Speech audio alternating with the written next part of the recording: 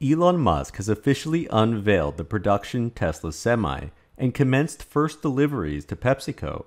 While spectators are focused on the three year delay between expected deliveries, which were initially set for 2019, versus hitting customer hands today, Tesla has had time to build out its vast infrastructure in preparation for the launch of the Semi, while the rest of the industry has effectively stood still.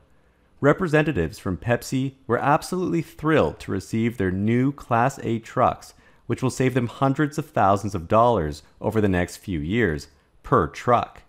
Traditional truck manufacturers have watched for five years since the original Tesla Semi announcement in 2017 in complete disbelief, doubting the semi truck's capabilities at every step of the way. Back in 2018, the head of Daimler's truck division, Martin Daum, stated if Tesla really delivers on this promise, we'll obviously buy two trucks, one to take apart and one to test, because if that happens, something has passed us by.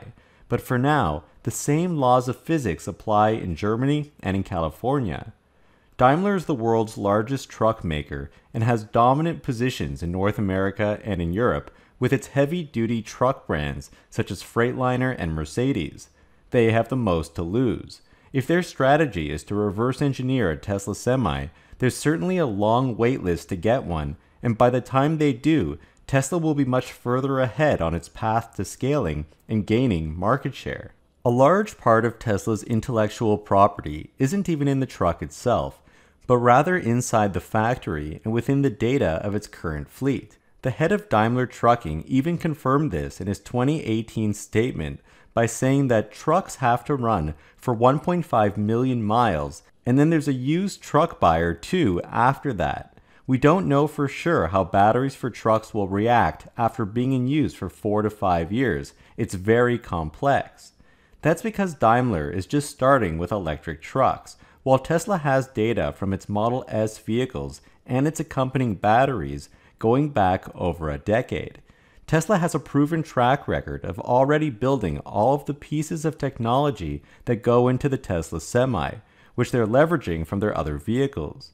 They highlighted 50 billion miles driven using their in house design and manufacture drive units.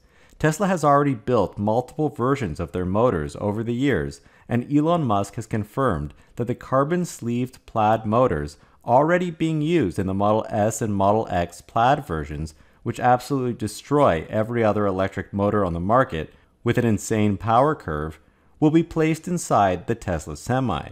They've also delivered 3.2 million infotainment units, which corresponds to the total number of Tesla vehicles that the company has delivered in its lifetime as of the end of the most recent quarter. Tesla also has experience building their own efficient heat pumps and inverters, and we'll soon see why this is an extremely important point. While most OEMs purchase their vehicle components from third party suppliers in a process that Elon Musk calls catalog engineering, and therefore they lack vertical integration, a deficiency which will be amplified in the large electric truck space, which requires an ultra efficient design. In 2020, Microsoft founder Bill Gates claimed that the problem is that batteries are big and heavy, the more weight you're trying to move, the more batteries you need to power the vehicle. But the more batteries you use, the more weight you add, and the more power you need. Even with big breakthroughs in battery technology, electric vehicles will probably never be a practical solution for things like 18 wheelers, cargo ships, and passenger jets. Electricity works when you need to cover short distances, but we need a different solution for heavy, long haul vehicles. But at the Tesla semi truck delivery event this week, Elon Musk stated that Tesla has done it, and the company posted an unedited video of a 500 mile drive on a single charge. In contrast, Freightliner, the top truck brand in the United States, their e Cascadia has a maximum range less than half of the Tesla Semi. The Semi is on a whole different level as Tesla steps up its game even further reaching into the future and bringing its technology into today. On Tesla's website, it shows that Semi's efficiency is less than 2 kilowatt hours per mile. So, for the last few years, most of the estimates have assumed a 1 megawatt hour battery when calculating the weight or the charging speed of the vehicle. But Elon Musk has grossly underpromised and over-delivered as the semi's efficiency is far better than 2 kilowatt hours per mile and instead resides at 1.7 kilowatt hours per mile, which is 15% superior. With a 500 mile range, this means that the battery pack size is 850 kilowatt hours. Elon Musk sees a clear path to get to 1.6 and possibly 1.5 kilowatt hours per mile, which means that the battery can get even smaller, down to 800 kilowatt hours and possibly 750 kilowatt hours, which reduces weight, charge time since there's less battery to fill up, and fewer cells or battery materials are required, which greatly reduces cost. Current Tesla semis are not yet making use of Tesla's in house 4680 cells, which could be the advantage that leads to a clear path which Elon Musk is referring to. The semis are said to use 2170 cells, which Tesla already produces at Giga Nevada, which have a high nickel based chemistry for performance and high energy density. But Tesla's path forward is not exactly to add new cells with higher energy density per se. Doing that would increase the battery pack size in kilowatt hours and could still be a great option for creating a truck with even more than 500 miles of range to compete with long haul diesel trucks. But Elon Musk is actually looking to decrease the battery pack size and try to squeeze out 500 miles of range with a much smaller pack at say 750 kilowatt hours. Switching to 4680 cells in the future, perhaps if Panasonic starts building them at Tesla's Giga Nevada factory, would still help boost efficiency and could contribute to this target. According to a Wikipedia entry on the Tesla semi truck page, Third party estimates call for a battery pack weight of over 11,000 kilograms or 26,000 pounds, which would on its own make up about a third of the 82,000 pound limit for a Class 8 truck in the United States. However, this appears to be completely wrong.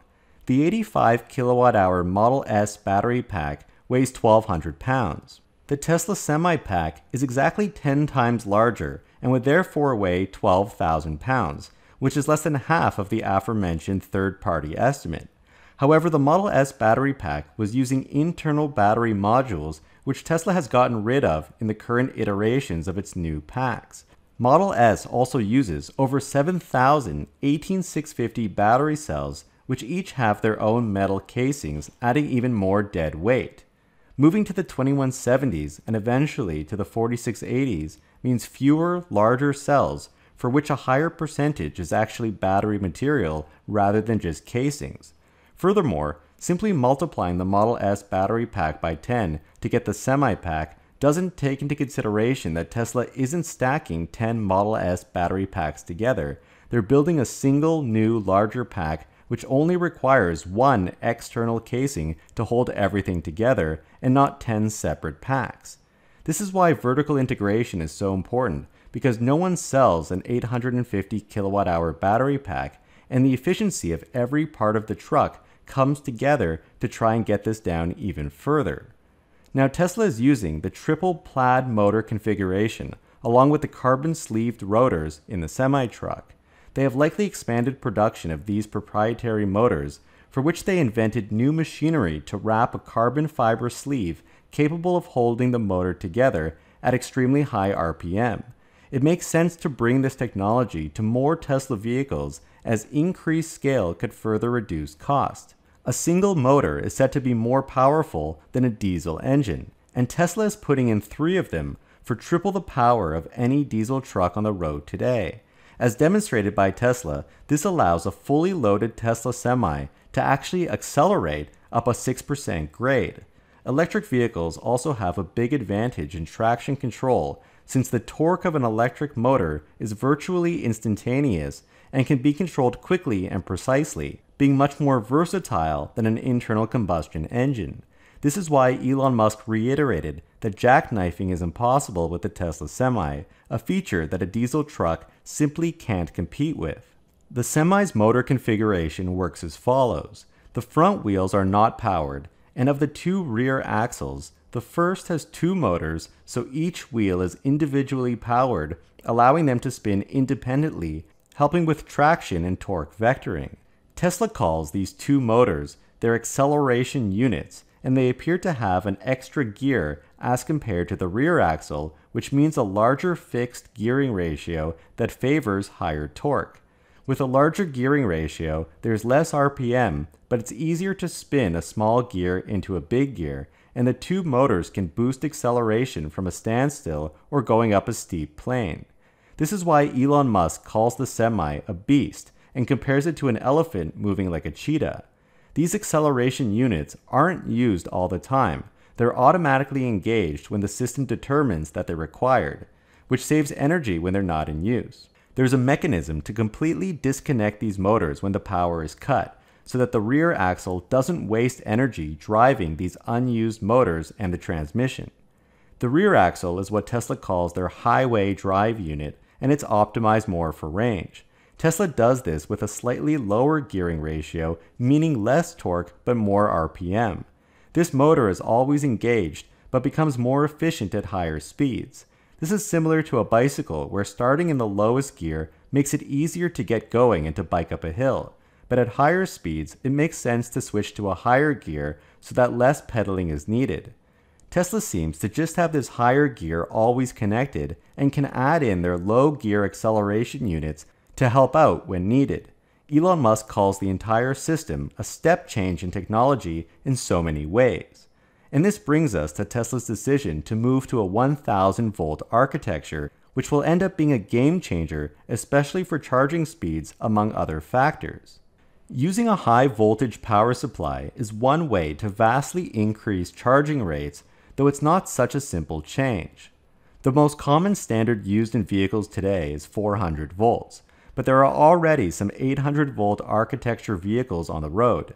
For instance, the Kia EV6 is able to charge its 77 kilowatt hour battery from 10 to 80% in just 18 minutes at a 350 kilowatt charging station. The Porsche Taycan can charge its 93 kilowatt hour battery from 5% to 80% in 22.5 minutes at a maximum power of 270 kilowatts, which is faster than the Model 3 despite the larger battery pack.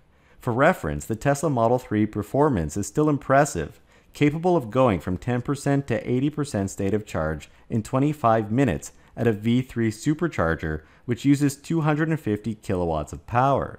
But the Tesla Semi, which has a battery pack that's more than 10 times the size of the Model 3, can get to 70% in 30 minutes, and that's in large part because Tesla is using a 1000 volt architecture with a 1 megawatt charger to give Semi a very reasonable charge time. What would be most interesting is the bombshell that Elon Musk dropped, which is that Cybertruck will be using the same architecture. The real limiting factor is the rate at which a single battery cell can be charged up, and then if Cybertruck can use that 1 megawatt of power to charge as many cells as it can in parallel, it may be able to achieve unprecedented charge rates for a vehicle of that size. However, even with a 1000 volt system at 1 megawatt of power, that's still 1000 amps being passed through the cables, which generates a lot of heat. In 2018, Tesla patented liquid cooled charging connectors and actually brought it to the V3 superchargers. Their upcoming V4 chargers take it to the next level by surrounding the conductors with coolant tubes to pick up the heat and transfer it away from the wires. Dan Priestley, who gave the semi truck presentation along with Elon Musk, said, You're actually immersing the conductor in the coolant. It means that we can really shove a lot of current in a very, very small place. So, for those who have charged their cars at a V3 supercharger and the cable's nice and maneuverable, it's the same thing here, but now we're just shoving a megawatt through it instead. And so the V4 charging connector will be the same size as the internal conductors are actually much smaller than the previous version but carry more power. And one advantage of the 1000 volt architecture is that wiring, even within the vehicle itself, can be made much smaller since it produces less heat and would thus weigh less and use less material, making it lower cost and more efficient. Now, one of the main challenges with high voltages is that electronic components in the vehicle must meet higher isolation standards. Components must be redesigned to have safe distances between terminals to prevent arcing, where the current can jump through the air from one conductive point to another. There's also a need of new verification processes to test these various components under these new safety standards. The other challenge is that all of the components of an EV must be compatible with each other, from the motors and battery to control systems and accessories. Even the charging stations need to be upgraded to take advantage of the new systems and make them interoperable. And so obtaining all of these components is one of the reasons why 800 volt architectures are being slowly adopted, not to even mention 1000 volts, which is even less so.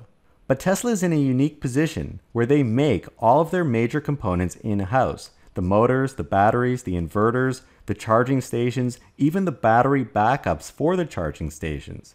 And so vertical integration is once again a key strength in allowing Tesla to use whichever most efficient architecture they decide without having to rely on anyone else. Tesla also makes heavy use of semi trucks to run its own business operations.